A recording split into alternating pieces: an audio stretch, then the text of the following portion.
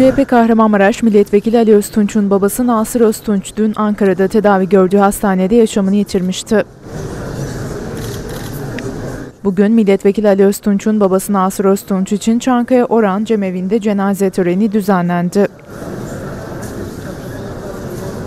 CHP Genel Başkanı Kemal Kılıçdaroğlu, Kahramanmaraş Milletvekili Ali Öztunç'un babası Nasır Öztunç'un cenaze törenine katıldı.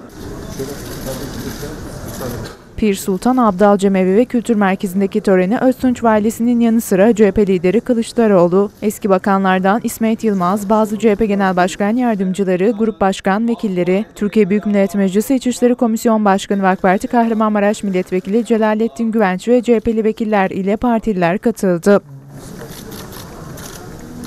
Kılıçdaroğlu cenaze namazı ve duanın ardından bir sürü Öztunç'un tabutunu taşıdı. Müsaade eder misiniz?